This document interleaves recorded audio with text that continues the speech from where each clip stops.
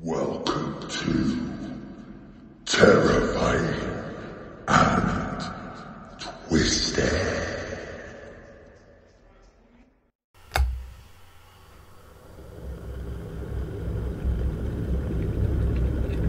Do you want a brew?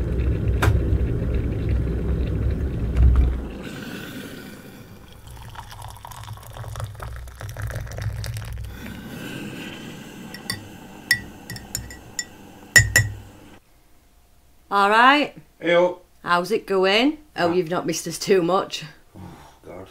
Been a bit hectic, hasn't it? We apologise for the late episode. We do.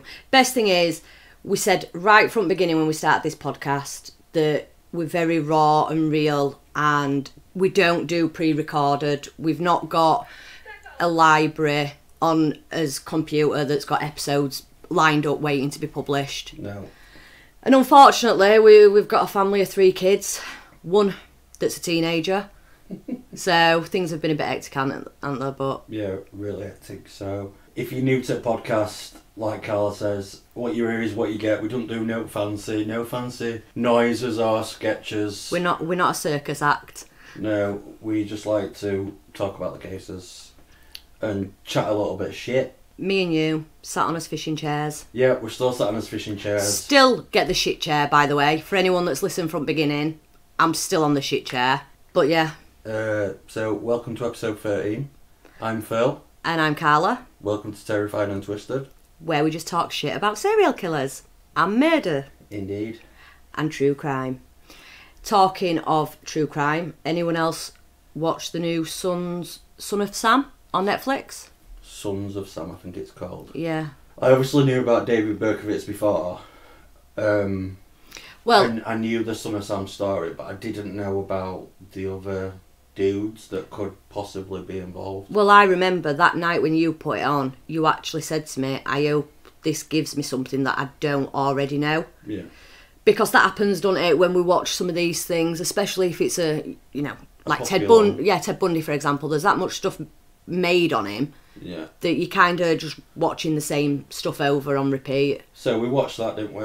We did, It were alright. yeah. No complaints. No, it were quite interesting the connections. Yeah. Like you said, we we had no idea about all that separate stuff, did we? I'm not sure about the connections and the other dudes, but Yeah.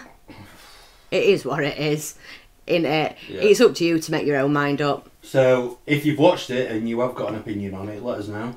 Yes. And please, right, I feel such a knob. So when I put out on his Facebook page the other day, I'm trying to get it talking, I'm trying to get people talking on there. So I put the post out asking for any case requests. Not one person. but yet we've got over 200 and odd followers, but not one person. So if you do, just please comment because it's only me and Phil. We're not Yeah. gonna, you know, we're not gonna bite. Um, apart from that, we had a really cool thunderstorm overnight, didn't we? Yes, we did, and I bet a lot of other people did. Yeah. That well, those that listen around us.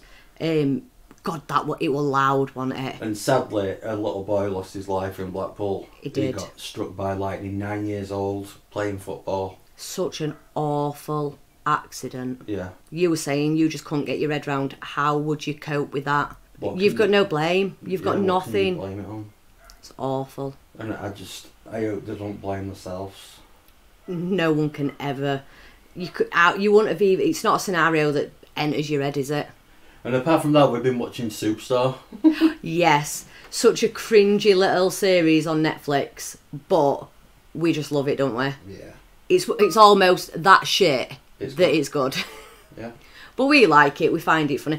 But we like um, Brooklyn Nine Nine, don't we? Yeah. And it's similar to that. Yeah. So, uh, well, the humour is similar. We've also um, seen first few episodes of the new and Maid's Handmaid's Tale. Tale. Yeah, we love Handmaid's Tale. If that's a series you've not watched, Watch it. highly, highly recommend Yeah. watching it. And then, lastly, Fred West. Yes, this is all um, taken over at news in it last few days. Well, week or so. I've um, read latest on it is I think they've got six parts of this cafe to dig up and have a look. Um, So for anyone who's not listening, what's happened? Oh, right, so Fred Fred West's son has apparently informed police that before he killed himself, he admitted to killing this girl, and this is where she is. Along them lines, um, so obviously police have gone and they're digging it, they're finding areas of which they think may be suspicious, and they're going to dig it up. I'm not sure if they're going to find out. The last report I did read, police said that this case has always been a matter of filtering out the facts Yeah. from fiction because he spun them a shitload of lies. Yeah, So so we'll see. We'll see how um, that pans out. Also, this week for a Monday as well, we reached over 1,000 downloads, didn't we? Yep. On two platforms. So we're quite impressed with ourselves for Yep. that. go fucking us. I know. Do you know what though? It's mad because when we were on phone to Lee, I was saying those first few downloads they seem to take forever. Do you know, like you're watching it build slowly and slowly. Mm. But then over the last few days, it just jumped. It was like we had a massive surge, and we went from like 980 something to now we're nearly at yeah 1100 so it's it's been pretty good impressive Awesome. and I think we should be proud of ourselves. So there we go. You're first this week. And first, Who you got? my case is about a male called Chris Benoit. Now, this is a really strange case for me Right. because Chris Benoit was a wrestler. He wrestled in WWF, And WWE. That is all I know about this guy. Yeah. I know nothing else. This is how I know this guy. Right, well, can I just stop you right there? You remember how you said to me that he's a wrestler and you said Ben would enjoy that? Yeah. I messaged Ben about it, and Ben straight said, "Is it this guy?" And he sent the name. And I'll be honest, I said I don't know because I don't know any. I can't remember what name Phil said, but all I know is he's a wrestler. So Ben has nagged the life out of me every day this week. When, when you when's your episode going on? When's Phil doing his episode?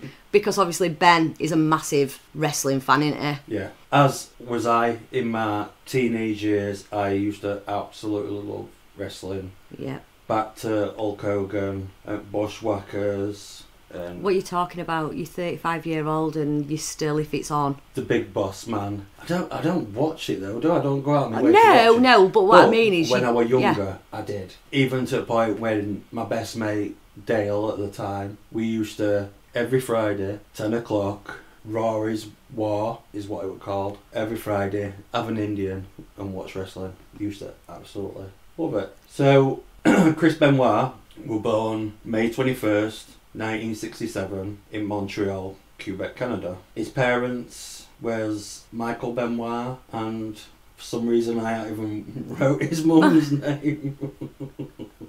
so as Chris Benoit was growing up, he loved wrestling. He idolised Bret the Hitman Hart. You heard of him? Heard of him, I'm not. And uh, someone else called the Dynamite Kid. When Chris was 15, he met Dynamite Kid, told him he wanted to be just like him, flexed his muscles, said, I want to be just like you. Um, Chris's dad encouraged him with his wrestling, got him some weights, um, got him training. He used to take him three hours to the Harts family training area, which was called the Dungeon. Okay. God knows what they used to get up in up to in there, but I'm sure. All was not as it seemed.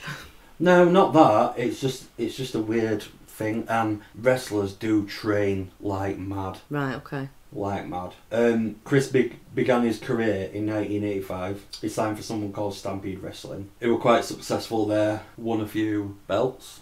Hmm In 1989, he went to Japan. Again, really successful, had a few belts. Uh, in 1982, he joined WCW. Didn't on, didn't get on great there. And in 1994, he signed for ECW, which these are like the lower. So, yeah. And then like UWWF is like the UFC. Right, okay. In ECW, he was in a wrestling match and he broke a wrestler's name called Sabu, broke his neck as Fucking they were doing a move. The move went wrong and he ended up breaking this guy's neck. Chris allegedly were devastated by the thought of Is paralysing someone. Well, surely it was just an accident. yeah, in ECW, more success a few more championship belts. And then something happened with his work visa renewal, and he ended up being moved from there. He went to WCW again, and he sort of flitted between WCW and Japan. Now, when he were in WCW, he were doing well, and there was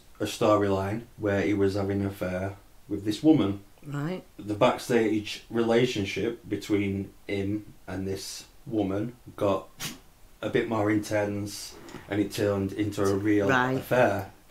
Chris had been married before, um, so obviously that marriage had broke down. He'd had two kids, and then he's pretending to have an affair with this woman, and it turns into a real affair. Yeah. While he's in WCW, again, really successful championship belts. In 1999, he had to do an Owen Hart tribute death. And Owen Hart is the wrestler who was coming down from the ring. I don't know if you've heard about it. No. Coming down from the skylines on like a. I've not really seen the video, so I'm sh- assuming it's sort of like a zip line Right. as he's coming down to the ring and he falls. Fucking hell. And, And he died. Yeah. Right. Um, so obviously Chris were devastated about that. He was really close with Hart family. In 2000, he signed for the WWF. He was really successful in the WWF, and I mean, really successful. Like massive? Yeah. Yeah. In 2001, he broke his neck and he was out for 12 months. In 2004, he won the World Heavyweight belt at WrestleMania. WrestleMania is like the- huge in it. It's, it's the the, show Yeah. for WWF. Now, I remember Chris Benoit, and it's fake. Obviously, wrestling is fake. Yeah. But some of the stuff that these guys do, and some of things where they throw their bodies Uh, around. You've said to me many a times. unreal. Yeah. Yeah. Not forgetting Chris Benoit, one of his special moves were a flying headbutt. So he used to get on the turnbuckle to the top and then literally fly. Well, not literally fly because he can't fucking fly, but jump off and fly in a butt. Right. And the amount of times that he did that, he used to get into TLC matches, which is tables, ladders, and chairs. You're saying all these abbreviations. I'm going to be honest with you, right? yeah, but other people listening might know what I'm on about. Uh, Right. I've just explained to you what TLC stands for. Yeah, but what about other things? Do I not need to know abbreviations for them lower level? No. Re- all right. I'm just telling you, the amount of times that I've seen him jump off ladders Was impressive. flying headbutts, and it was just crazy. right. Right. So in November thirteenth, two thousand and five, Chris Benoit's best friend Eddie Guerrero died of a heart attack from an enlarged heart. Right. Now a lot of these guys did or didn't do steroids Yeah. when there was in the WWF, WWE. But the I think a lot of them take it not to get bigger, but to to, to repair the bodies because the bodies are going through that much turmoil. Um, Chris, we're obviously devastated. There's a YouTube video where he's talking about Eddie Guerrero on the Raw show, and it's heartbreaking. You can you can See how yeah, he, he- tells him he loves him, and it's it's awful. Um, apparently, Chris started writing a journal to Eddie, so he felt like he was still talking to him. Yeah. Now, I'm telling you all this for a reason. All this stuff. Okay. 2003, he lost his best friend Eddie. Now, a lot of these guys that travel be- between themselves, like the WWE doesn't organise travel for the wrestlers. The wrestlers have to organise it themselves. All right. So these wrestlers in the WWF, they do like three to four live shows a week, So it's a lot of travelling. and they could be in completely different places. yeah. Um, I I read a stat that out of 365 days, these wrestlers work 300. Fucking hell. Yeah. So So they're on the load, uh, on on the load, on the road a lot with each other. That's obviously how him and Eddie were so close, and a lot of people have described Chris as a really nice bloke, okay. like they always do. Yep. That's what I was just thinking. An amazing wrestler. Really good at what he does. Yeah, never seen him angry. Yeah. Never seen him upset. In 2003, his wife Nancy filed for divorce um, and got restraining order on Chris for alleged cruel treatment. Right. Which will have been really strange to everybody else. Yeah, and his anger problems. Uh, it were alleged he had increased paranoia, um, Chris thought he was being stalked. Um, he'd never take the same route home, Yeah. but we don't know if it was the increased drug usage that maybe Yeah. after Eddie had died, he was in a bad place. Now him and Nancy had a son together called Daniel. Um, like I said, the superstar, superstars comments, and we're talking about some of the biggest Names. Stone Cold Steve Austin. Yeah. That they trust him with the lives, with the kids, loving. Well, dad. you've just you've just said out of a year the work 300. So they spend more time Yeah, know- with those know- wrestlers with each other than they, They do the know him- families. They know him. That's what Yeah. Um, never seen him angry. He was quiet, really intense, technical wrestler. Push you to be his best. Push you to be your best. Sorry. So Tuesday, nineteenth of June, two thousand seven. Chris Benoit wrestles his last match and wins. He does uh, a diving headbutt, Yeah. and allegedly this headbutt lands on his opponent's knee. Now, one thing I have seen on YouTube about Chris Benoit is I can't remember what happened. I think it was one of these flying headbutts, Hmm. and you can see him fit in the Fucking ring. hell. Yeah, he has a fit. It's crazy. Proper fucking dangerous. Yeah. Um, on Friday, twenty second of June, Chris Benoit rushes home for a family emergency, and also on Friday, twenty second of June, Chris Benoit kills his wife. Fucking hell. Apparently, Chris strangled her. She was found with her feet bound and her wrist bound, and all they know is that she died of asphyxiation sometime on that Friday. Right. Then Chris kills his son, Daniel, on the Fuck. Saturday. Fucking hell. Daniel But apparently had um, drugs in his system and was strangled while he was asleep. well, that poor little boy drugged while his dad killed his mum, so he didn't wake up and hear it. But I an- I don't know what's coming. I don't know what's happened, what's triggered it. But all I'm going to say is from how much of a massive star he was, how many people knew him and knew how much of a good guy he was. This is completely out of fucking character. Yeah, massively. So the Sunday, Chris commi- commits suicide. Fucking hell. Um, he commits suicide by hanging himself in his weight room. So do you know like um, one of the things that you put your Put- lap pull down? Yeah. Apparently he'd hooked that up so he could Oh. hang himself on the lap pull down. Now they said that they also found copies of the Bibles next to the bodies of the wife and son, and then a third copy next to Chris. Now Chris wasn't We're religious, religious. but Eddie Guerrero was massively Right. religious. Okay. Two days before, it's alleged that Chris Benoit's ex tag team partner had just committed suicide as well. So this la- this bloke has gone through a fucking lot, hasn't he? Yeah, but listen to this. Chris Benoit, when they do um, toxicology or Oh right, yeah, yeah. you know what I mean, Autopsy. autopsy. That's what that's what I'm trying to say. Chris has got an enlarged heart. Also, Again, drug use, steroids. they reckon that, And he were fitting, doing his headbutt they reckon that he may have been dead in ten months. anyway. Anyway, now what is crazy is Benoit's brain tissue showed severe CTE, which is chronic traumatic encephalopathy to all the, to all four lobes of the brain and its stem. So his brain was that bad. It was compared to an 85 year old dementia patient. Wow. And I'm assuming that all them years wrestling and doing his flying headbutt has accumulated. Alleged that he'd had over 300 c- concussions. Wow. So, such as damage to Benoit's brain, he was on course for early dementia. There's no no telling um, what his mind were like at the time. Uh, Well, I think it's fair to say that his mind wasn't of a normal state when he did what he did because it was so out of character. yeah, You know, the, he's been a, a fucking famous wrestler for all these years. Not one person said they ever saw him angry. Yeah. He would never. So this in a uh, heated row that that's got out of hand and he's killed her. like there were. He's swiped his whole family out. I can remember when this first came out, and there were stupid stuff like, "Oh, Chris Benoit had done his finishing move on his son because Oh no! because one of his finishing moves were called a crippler crossface, and it's sort of like has your hands underneath your neck and pulls your head back. Right. But I think that was just bullshit. Yeah. Um, well, no one's ever going to know either. Let's be honest. It's all chuffing speculation. I'm not sure I understand. Sorry, that one yeah, I watch. I didn't ask you out. yeah, so obviously speculation were massive. Yeah.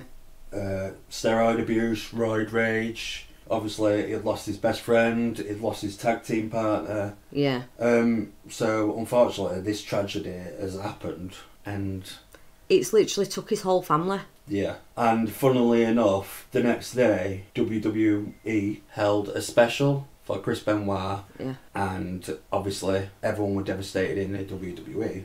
The next day, it, it came out that Chris had obviously murdered his family, and WWE completely went shut down. Cut ties. Cut ties with Chris Benoit completely. He's basically erased from WWE, and that is the case of Chris Benoit. It's been a it's been a weird one for me with all nostalgia because I used to watch this guy. It were your childhood. Yeah, I used to watch this guy wrestle, and he was amazing Yeah. and he was aggressive and intense and just not scared of putting his body through Well, look obviously what he went through. Yeah, yeah. And unfortunately, his his brain must have been like fucking scrambled egg. Yeah. I know that sounds awful to say. No, but something's happened, hasn't it? That's that's triggered this because how many? They must have been together years. Him and his wife. Yeah, well, Wow, it's sad, isn't it? That. really sad. What is it with these cases? Normally we sit here and we're calling him a piece of shit. That you yeah, know, because at the end of the day, he did he did murder his wife and kid. yeah, and it was an awful fucking I thing. I will say there's theories out there that Chris didn't do it and other people did it. You'll never know what happened in that house. No. Now, I listened to Stone Cold say a few minutes on Chris Benoit, and Stone Cold Steve Austin is obviously massive. Yeah, Still is. Um, and he said Chris Benoit, as the wrestler, one of the best men he's ever met. yeah, Chris Benoit and what he did in that house could never be forgiven. yeah. Which no, and that's ex- that's expected. That's what you would you'd say it about anybody. Like last last case, I kid you not, that Robert stuck in my head. Well, you know, I'm currently fucking corresponding with Wakefield Prison to get his Yeah. up to date prison number because I've I've wrote to him. Yeah. um, yeah, what he did were wrong, and he deserves to be where he is. Same as you know what what this guy's done is fucking awful. But I don't think the the cold blooded killers they're not in the same league as some of the absolute monsters that we cover. Well, what if I put it? What if I put it to you like this? What's the difference between him and Chris Watts? No, fuck off. Because Chris Watts killed his wife No, right. So, do you want me to tell you why it's different? I know why it's different, but I want to hear it from you. because Chris Watts is a fucking piece of shit that only did what he did so he could get away with his affair Yeah. and completely start a new life. with- Instead of doing the grown up, manly thing to do and leaving your wife, sort custody with your children, no. I'll fucking kill you all. Not only will I kill you all, but I'll kill your mum first, put a dead body in back at car while I drive my two daughters, which are alive by the way, Yeah. Over an hour away with a mum's dead body in the back of the fucking car. I'll then bury her. I'll then take one child and what let the other one watch while she then says, "Please, daddy, no, don't." While he puts his blanket over her head. That's the fucking difference. And then dumps them in oil fucking tanks. For anyone listening, that's how you wind Carla up and watch her go. Fuck off. fucking good one. What Um, a piece of shit he is, though. yeah, we really Despise that him. Um, so, like we're saying, for me, it's been a it's been a weird case because I knew that this had happened because obviously it happened 2007. Sorry, as spring has been an absolute cock. Um, it was a really weird case for me to do. It it fetched back a lot of memories from my childhood, I can imagine. and I just I, he's a he's a piece of shit because he killed someone, but. I can't help but just feel sad about this case Yeah. like Robert Maudsley, like other people. I think I think as individuals, you sort of there's certain cases that stick with you, and then there's some that you feel like that. You've just seen that I uh, fucking passionate about my hate for Chris Watt, and I don't use that word very often. Yeah. My mum always taught me that it takes a lot of effort to hate somebody. Yeah. But that's the kind of level he gets me to. Whereas there's some people out there, and you know it, because in fact I actually put a fucking status about it, idolise the dickhead and write to him. Yeah. And in fact, hashtag Chris Watts is innocent. He fucking admitted it. What more do you need? But anyway, Everyone's got an opinion. Like assholes. Yeah. So we're back in the room. Just had to sort kids out for school. We did. In that meantime, I've managed to show Carla a few Chris Benoit videos. Wow.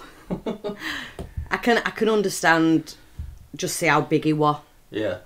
You also told me an interesting fact that you forgot to mention. Yeah, that he sent a few texts out um, saying that side door was open for the garage, the dogs were locked away. So basically, for someone to find them. Yeah. yeah. So shall I tell you my story? Well, yeah, go on then. So this is the story of a young girl called Sylvia Likens. I'd started this story ages ago. There were an episode where I said to you, I struggled. I think it was after the Junko. Right. I struggled to find a case. And I started this, but it reminded me a bit of the Junko, so I put it down. But last week I were having a coffee with Kerry, and she mentioned a film she'd watched, and it sounded really familiar. And when I had a look, it's actually a film that's been made about this. Right. So, And have we seen said film? nope. Right. But I've not mentioned it until I've done this case. Cool. So, Sylvia Likens was the third of five children who was born to carnival workers, Lester and Elizabeth Likens. Now, Sylvia were born between two sets of twins. There was Diana and Daniel, who were two years older than her. Then she were born, and then Jenny and Benny came one year later. Her parents, for a living, basically followed the carnivals Yeah. around. They had a stand, they sold sweets and drinks and whatnot, which meant they weren't very well off at all, struggled quite a bit. It also meant that they moved a lot, Yeah, so they don't have many friends. not many. Now, when they travelled through summer, they'd often take the youngest son, help earn more money, but they didn't like taking Sylvia and Jenny because of the safety concerns of it. Now, when I there, were- there just stuff said about children, people went missing and people ran off with other carnival families, so I think it was just a Right.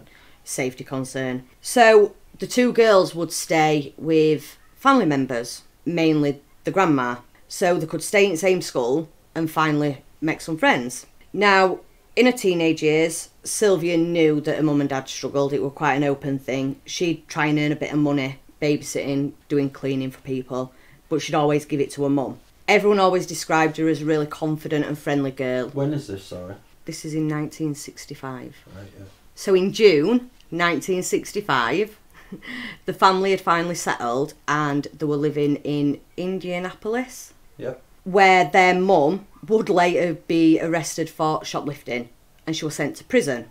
But they still needed to earn some money. So Lester arranged for Sylvia and Jenny to stay because of the safety concerns.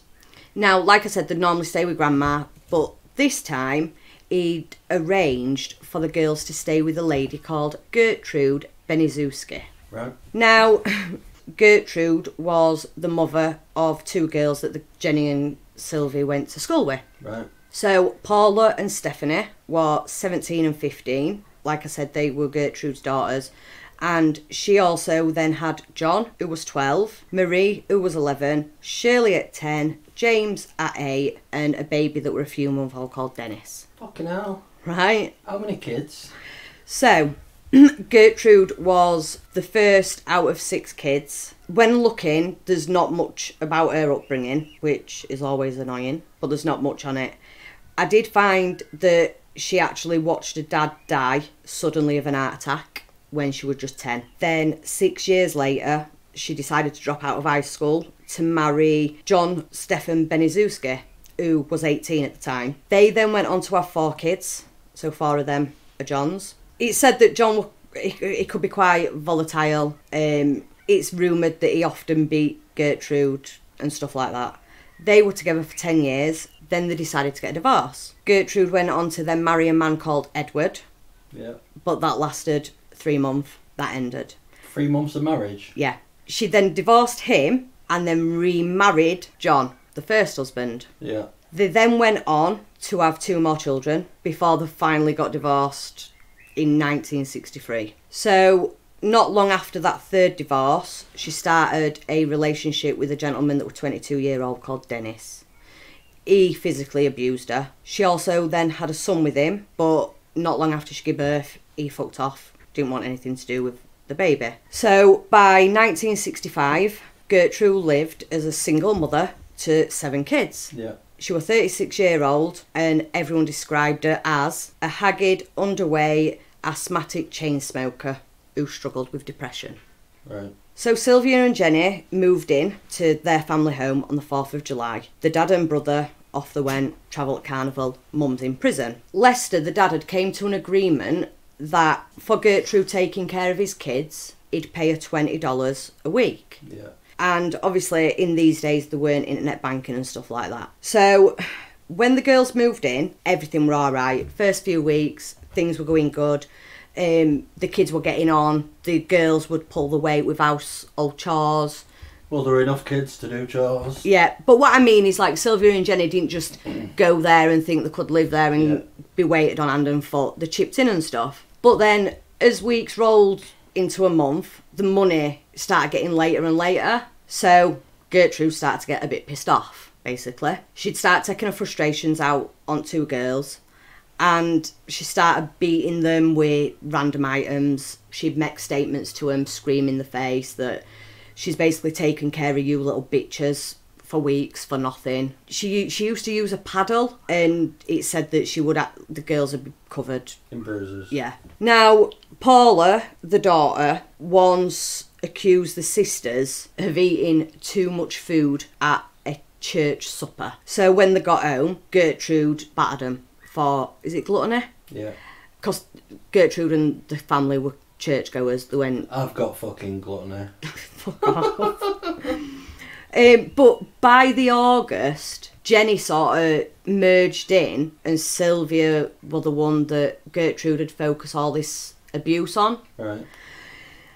And she'd often abuse her, torture her, manipulate her, do really just shitty stuff. But it used to be after school and then on a weekend. And she'd always do it where no one could suspect anything. And these girls never said anything either to anybody, which were really odd. A lot of these Well, they were probably scared because if they get took out of her house, where they're going to go where go. going to go? Mm. Now, a lot of these attacks sort of were motivated by jealousy, and it was very much tit for tat. Silly things like Paula and Stephanie would come home from school and say, Oh, Sylvia's been talking shit about us at school. So then that'd get her a beating. Yeah. It would really, like, to be fair, pathetic, petty. Do you know when we say to us kids, stop telling tales? Yeah. That's what it were like. So these attacks, as we know, started increasing and started getting a bit more vile. Violent. Yeah, I'm assuming. yeah. Now Gertrude would repeatedly kick Sylvia in her genitals. She put cigarettes out on her. She would just beat her with this paddle, like I said before. But then eventually, other people got involved in this, and Paula would often take part in beating her. She'd take it in turns, forcing her to do unforgivable things in front of people. And also, Paula's boyfriend would jump in on the action. So, there's a lot of people that all know what's going on about this abuse, and nobody does fuck all about it. Um, Gertrude would starve her quite a lot. So, she'd give her bare rations, then she'd force her to vomit, and then force her to eat her own vomit. These fucking people need putting on an island somewhere. Yeah. Um, there were an occasion where Paula's boyfriend he force fed her a hot dog and they'd like added all these sauces and spices and again literally rammed it in her throat, made her vomit and then forced her to eat it. Just awful fucking shit. Need putting on an island and left to rot. Oh yeah, hundred percent. Gertrude's daughter Paula actually attacked Sylvia that bad she broke her own wrist, and then because she broke her wrist and she had a cast on, she decided to use that cast as a weapon. as a weapon, and to always and, and to continue beating Like a cunt. that she was. So Gertrude would often accuse Sylvia of engaging in prostitution. She would deliver sermons to Paula, uh, to Sylvia, about how disgusting prostitution was and how women in general were disgusting. She often forced Jenny, her sister, to join in. If she refused, she'd then get a beating. Yeah.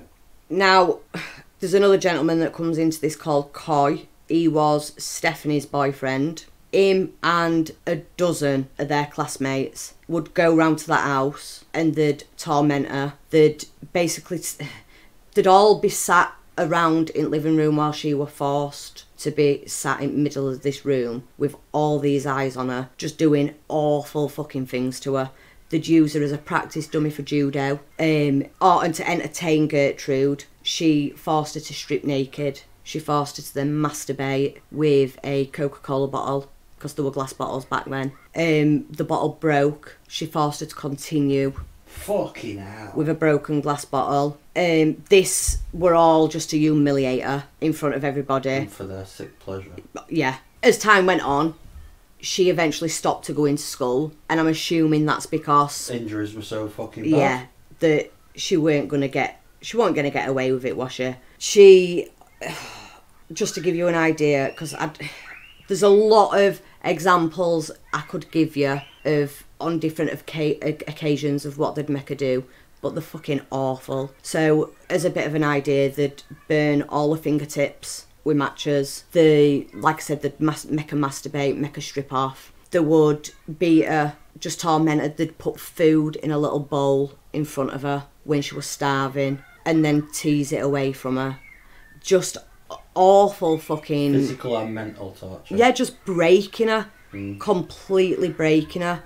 Now, her mum and dad did come back and visit, but on the last two occasions, they actually said they saw no like visible signs of abuse, and the girls didn't come across as scared or terrified. They couldn't believe what what uncovered. So when the when the the dad came back, visited him, and then just fucked off again, So they'd go travelling again, yeah. and the mum were out of prison by then. Yeah, and she joined the family Yeah. travelling the carnival. So they did go and see the girls, Fucking take your But kids then- with you. but they didn't think anything were going wrong and the girls didn't say anything. But that being said, they were always watched by either Gertrude or one of the kids. Yeah. So that's probably why they didn't say anything. And on the last time that her mum left, Gertrude actually said to, Sil- to Sylvia, What are you going to do now? They're gone. Who's going to save you? Fucking, aw- like, you just want to run, won't you? What a fucking piece of shit. Yeah.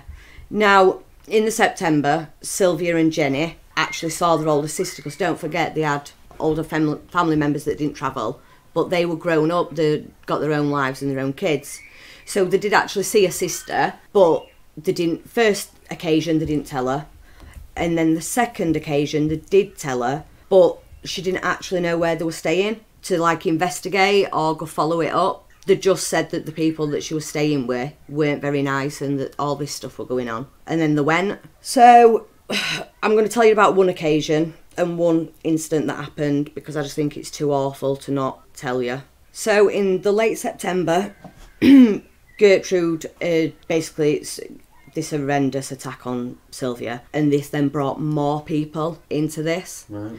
So she basically again were accusing Sylvia engaging in gluttony. She then got Paula involved. They beat her, like really, really badly beat her. They then decided that they were gonna cleanse her soul of sin in scalding baths. Oh, So the dip- that is fucking Awful. They would repeatedly bang her head off the bath to bring her back round because she'd pass out with pain. So I know. Here's a good idea. Let's do Let's it. just fucking bash a brain outside a bath. Dickheads. Yeah. Now, there was one gentleman that rang the school and basically said, I, I want to report something. So he explained that there were a girl living at Gertrude's uh, address and she was covered in really bad open sores from head to toe. School followed up, they sent the school nurse out, but Gertrude completely fed him a load of bullshit and actually con- she convinced this school nurse that Sylvia was a really bad kid, that she just couldn't keep her on right track, she was running off all the time, and that actually all these sores on her body were because she'd ran away with a group of boys and she didn't keep up with any personal hygiene. So she basically said that she turned up looking that way. And did the nurse not even look at? No, no, no, no. And that were it. Case closed. No one ever then questioned where she was after that. She obviously weren't attending school, so why no one fucking cared? Now, Gertrude's neighbours were called Raymond and Phyllis. They actually said that at first they thought Gertrude would be this perfect person to take care of somebody's children. She always seemed like a really doting mum. That sort She of had a lot of kids. a lot of kids. Um, but on two separate occasions, they actually did give a statement saying that they'd witnessed Paula abusing Sylvia and that she'd openly been bragging about what she were doing to her. And that on the second occasion she was were really really weak but no one decided to report it. So even the neighbours they sort of knew what were going on. I don't get it. but no one We're, reported we're talking about sixties as well, yeah. So people can say it were a different time. it were a different You could, era you know, sm- that's on a different that's on a different them. level though It's absolute fucking bullshit. yeah And to anyone who's listening to this, without sounding like a cock, if you think a fucking kid's been abused, just fucking report it. don't ever not even if you're wrong Because imagine if you don't and this fucking happens. yeah You'd never be able to because we're, s- we're saying this is in 60s yeah this cases but look how many cases Yeah. nowadays that Yeah. aren't you know that it still happens a fucking lot Yeah. so yeah so neighbours decided not to report it either now their sister did eventually find out where they were staying and she tried to um, approach gertrude but what she actually did were ordered her off a land and basically said that your mum and dad said when they went away not to have it, let you have any contact so off you fucking go shut door and refused point blank to let her see her sisters again she didn't pursue it any further she didn't try and not that i'm putting blame onto anyone else Yeah. but there's a lot of missed red flags Yeah. for me. Now, by this point, Sylvia had actually become incontinent because of all the damage that had been caused to her genital area and a bladder and everything else from beatings. She became in- incontinent. Now, she weren't allowed to use bathroom. She was barred from using bathroom. She was forced to just wet herself. Humiliation in it. It's just awful. Like I said, physical and mental torture. Yeah. But if she did then with herself, she then got punished. It were a never ending fucking cycle for her. Yeah. So there were an occasion um, in October where Gertrude decided, you know what, I'm fucking sick of this. So what I'm gonna do is I'm now gonna lock you down in my basement because you keep pissing bed, and I can't be asked with changing bedding, basically. So she tied her up. Um, she wore often naked. Again, the starvation were took up a massive level. She was basically left down there. Only time she had interaction was to be abused or to be tortured. This is what I mean when I say these people should be put on an island and left to rot. Left. Because Starve they- yourself. Yeah, what they're doing to these people is kind of leaving them to rot. Yeah. But obviously with physical abuse and all that tied in, and that's what I mean when they when I say they should be put on an island and left to fucking rot. Yep. You experience what it feels like. Dickhead. So, like I said, abuse had massively ramped up. It had got to a point where any of the kids in local area that attended that school, if they wanted to come and attack her or torture her or you know humiliate her, they could at a charge of five cents each. So she were also making money from this. Mm. Throughout the time locked in the basement, with help from all kids, their boyfriends, local kids, they'd basically restrain her. They'd repeat the scolding baths. There wants to be a fucking lot of arrests at the end of this story. They, they then would rub salt into her open wounds. That, for me, was the th- worst thing that stood out. Like, there's a lot of bad shit that happens in here. But an open wound with salt rubbed in, and this girl was covered. It's just fucking awful. Obviously, the this girl would cry and scream, but they'd often shove cloth in her mouth, tape it up. They would get the once made the 11 year old son take a nappy from the little baby and smeared it into her face. It were covered in shit and wee and just awful, just awful. Cruelty. It's it's like these people who do this, they do it for their own amusement. It's like they treat a human being like a fucking toy Yeah, that they can poke and Prod, prod, yeah. bend this way. we, we full control, innit it? Mm, That's why it is. You're a puppet on strings. fucking this bitch needs putting down. Hundred percent. Well, wait, wait till I get to sentencing, mate. Um, eventually, she started letting Sylvia sleep upstairs again. Um, didn't last right long because of the incontinence. Um, again, she was forced to stand in the living room. She was forced to masturbate with a bottle in front of a room full of fucking kids, her kids, herself. She was then made to go back into the basement, tied up again, starved. She'd also she she'd do a lot of these sermons and sort of rants, not just to Sylvie, but to from what I gather, there were very big church and faith believers. Yeah. Now, again, I said it were a lot of tit for tat on one occasion, and this is probably the worst, so I'll give a bit of a warning because I've had a moan before about not warning people. I'm ready. Now, Gertrude had got in her head that Sylvia was causing all these tit for tat lying about her family and her kids, that she decided that you've branded my daughters, I'm now going to brand you. So she dragged her to the kitchen and with a hot needle, she basically carved across her stomach. I am a prostitute, I'm proud of it. I'm not ready. In big, I want to get off. Stop in really big fucking letters. Now, it weren't just her that did this. She got a few of the local boys to do some lettering. You know, it very convenient that she's never alone in this, isn't it? Mm, It's always um, these young children that, that she can control as well. yeah, yeah. After she did that, um, after the, they all did that, sorry, she was then sent back down to the basement where her 10 year old daughter decided that she wanted to brand her and she wanted to brand her with an S, a really big S. But she actually did a number three, which this is a really famous picture from this case. On purpose. no, She thought it was an S and it was she was trying. So what she did is she used a ball, and she was hoping by warming up the sides that she could. She should have done one that way, then turned it over so it created. done it, fucking- no, she shouldn't. No, no, she shouldn't have done it at all. But what I meant is. But in her head, she did it wrong, so it created a number five. Oh, a number, bitch. yeah, a number three. Sorry, it's a really famous photo to do with this um, this case. So that night is the night that Sylvia basically said to her sister, "I know you don't want to hear it, but I'm gonna fucking die. They're gonna kill me here." Yeah.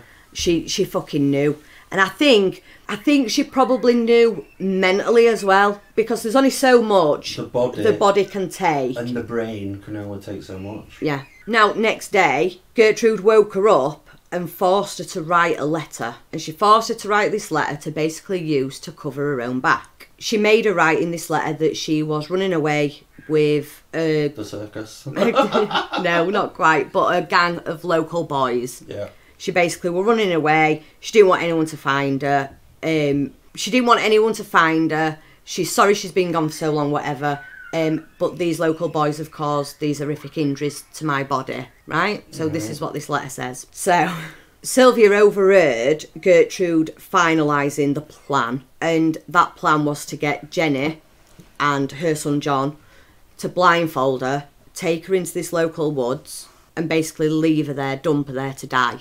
Um, they obviously knew by this point she was really fucking weak, so it probably weren't gonna take long More than a night in woods. yeah, alone. So anyway, cause, cause Sylvia had overheard this, regardless of how weak she was, she thought she'd attempt to try and make an escape. She basically screamed and screamed and banged on them fucking walls in basement as much as she could for as long as she could. Um, neighbours did say that they did hear this, but they didn't think to ring police because it soon stopped. Now, But it depends on what you fucking heard. Like, if I hear a woman screaming and then it stops, I still am gonna think, what the fuck's Well, you're gonna you're gonna listen thinking why she stopped so suddenly. You'd you'd want to know, wouldn't Yeah. you? So there's a reason that that had stopped, And that was because on the morning of the 26th, They killed her. yeah, unfortunately. And this this had happened that what had happened they killed her. They basically um, dragged her back up to the kitchen out at basement. Gertrude decided to prop her up against wall and attempted to feed her a donut, but because of how dehydrated she was, how weak she was, she had so much damage, you know, to her throat. Mm. She couldn't she couldn't swallow. No. So it fucking wound Gertrude up and she decided to launch this massive attack on her. And she ended that attack by stomping on her head, basically, repeatedly. Now, Stephanie, the other daughter, she thought she'd passed out, so she decided to bath her to try and bring her round. But she soon realised that she fucking wasn't Yeah. passed out. She she were dead. So she was she attempted CPR, but Gertrude just basically started shouting, "She's fucking faking it. She's faking it. She'll come back round." And she continued to try fucking smacking her, while her daughter's attempting CPR. What a cunt. You don't use that word very often. No. But this woman fucking deserves it. Oh yeah. So she then soon realised that she weren't faking it either, and she told Richard, who was the boyfriend, to basically go ring police from a near pay, uh, nearby payphone and tell them what's happened, that they found her dead. So when police came, she took them to the bedroom where Sylvia had been put. The police said that you know the mattress were disgusting. I'm surprised they fucking found the police, to be honest. Yeah. But this woman, don't forget, is fucking crafty because when the police arrived, she handed him the letter. And said, oh, she's been, I don't know where she's been, she's just come back like this. She turned up, this is exactly what she did. She basically ran away, not seen her for a while. She's turned up this afternoon, handed me this note. She looks in this horrific state. We've been taking care of her all afternoon. We've bathed her to clean her up. We've all this. Bullshit. bollocks. Now, when they originally asked Jenny, the sister, it were a very rehearsed statement that she gave. Probably under eye as well. Under, yeah, uh, she were always watched. But that being said, she did manage to whisper to one of the police officers, "If you get me out of this house, I'll tell you everything." well done, girl. So that's exactly what she did.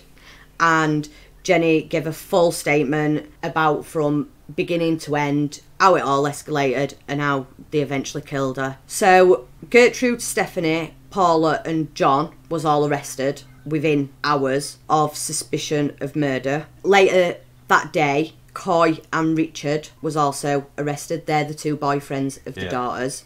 They were also arrested. Now, at first, Gertrude, of course, completely denies everything. She blames everybody else.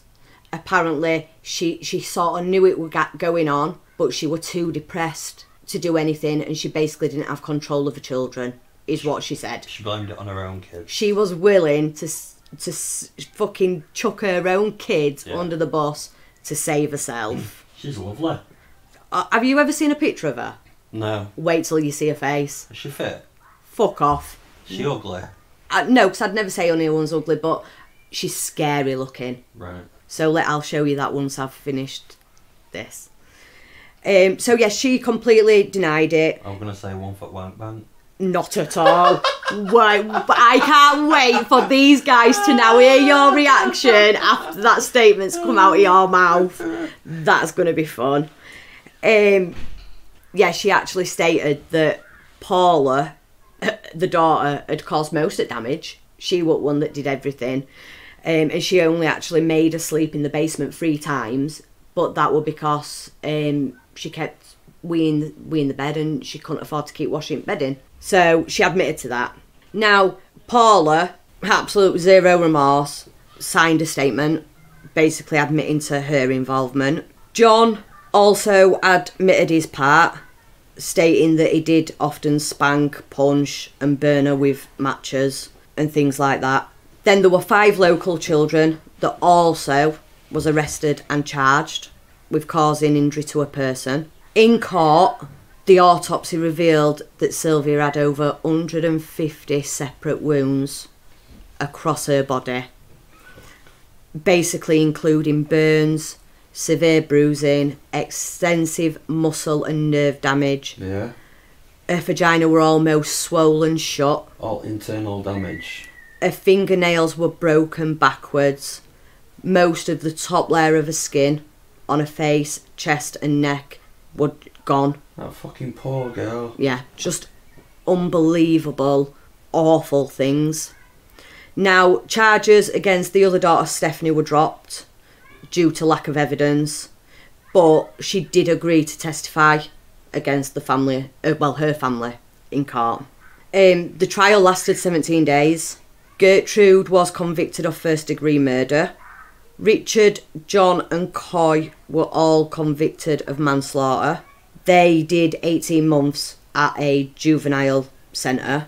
Paula actually had her charge dropped to voluntary manslaughter and her sentence then got reduced. And do you want to know how long that woman served? That girl served? Three fucking years. Three years for her involvement. Fucking joke. Yeah. Now, ironically, Richard died of lung cancer at 21 years old. Coy spent the rest of his adult life in and out of prison and he died of an heart attack at 56. There were a retrial and Gertrude's sentence also got reduced and she was still convicted of first degree murder but it was changed to 18 years. And funny enough, she turned out to be this model fucking prisoner that everyone called mum. She were Ah. kind and caring. And she ended up, her parole came in 1985 and she were released. She changed her name. Please tell me she died a horrible death. Like, got knocked over by a, a bus, and then the bus drags her down the street, All right. and then a four wheeler comes and runs her over, and then something fucking else happens to her. Please tell me. No, mate, I wish I could. But she was released and she then changed her name um, to Nadine Van Fossan. She actually only lived five years and she died of lung cancer in 1990. So she fucking deserved it. A lot, she deserved a lot worse than that. Paula, she also changed her name. She moved. And do you know what that woman became? A fucking teacher. Wow. I kid you not. She was a teacher How? because she changed her name. But don't forget, you know, the Yeah, yeah, yeah. there weren't these massive DBSs that there is now. She did eventually, they did eventually clock on, and she did eventually get struck off. So Well, she weren't able to. Tell me that teach. she died a horrible death, like get ate by a crocodile or something. Alive. She's still alive. Well, I hope she gets ate by a crocodile. Um, so John also changed his name. That were one of her sons as well. He actually became a minister, and he often worked um, counselling young offenders. Fuck. Oh. Honestly, he actually did, which is fucking. I don't. I don't. Well, people reform, so they say, and I've got to admit, you know, these these were just kids, so these had a massive influence from their mum Oh yeah. when this happened. Yeah. I know they would have known it was wrong, Yeah. but imagine if her own kids were actually, as awful as this is going to sound, quite relieved that someone else were getting attacked and not them. Because we don't know what were going off in that house before. Never know what happens behind closed No. doors. Not that I'm justifying anything, but you know, it's just a spin on it. Um, Jenny went on to marry and have kids. Um, she actually did an interview which I watched on YouTube. Oh, my foot's gone dead. And she said that she ne- like there were never ever any blame put on her parents or anything like that because they knew that they were just trying the best to make ends meet and it was just an awful thing that happened. So, yeah, that is the story of Sylvia Likens. And the film is actually called An American Crime. On, I mm. think it's on Prime, so we will have to watch it. Yeah. So, if anyone else watches it, let us know what you think. Yep, please do. We hope you've enjoyed episode 13. It is. We will back And we'll be on time this time. this time. This time. We'll be on time this time. Okay. I don't get you. No, it just sounded funny. We'll be. We'll have his episode out on time. This time. Perfect. well, it's only to be fair, it's one episode. Yeah. That's it. So Carla's gonna show me Oh, me uh, latest entry to. Not not at all. Are- you ready? Come on. Fuck off! That is not what I expected. Do you know what I mean by scary looking though? Like I don't think I'd have backchatted her as a kid, she looks like a cunt. don't she? Yeah. For anyone that hadn't already googled the picture, I'll She looks like a right miserable bitch as well. yeah. That's what I mean. If she lived on my street when I were a kid, that's definitely one garden I did not want Yeah, my you- ball you getting in. You won't be kicking your fucking football in their garden. No, no. She's fit though. Fuck you. no, she's not. Um, so that's a wrap. Hope you've enjoyed it. See it.